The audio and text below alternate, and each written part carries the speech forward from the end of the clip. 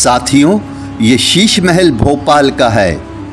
ये महल भोपाल की पहली बेगम नवाब कुसिया बेगम ने बनवाया था। इस महल को अल्लामा इकबाल की क़यामगाह होने का शर्फ हासिल है।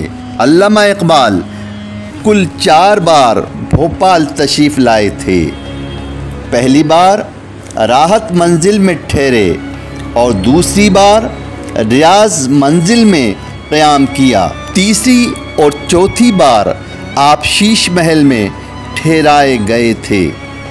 ये एक तारीख़ी हकीकत है कि अल्लामा इकबाल ने शीश महल में क़्याम किया था और यहीं उन्होंने कई बहुत अच्छी नज़में लिखी थीं। भोपाल के शीश महल को एक मर्द कलंदर अल्लामा इकबाल के मुख्तसर क़याम से हमेशा के लिए ज़िंदगी मिल गई, जो हमेशा अल्लामा इकबाल के नाम से ज़िंदा रहेगा।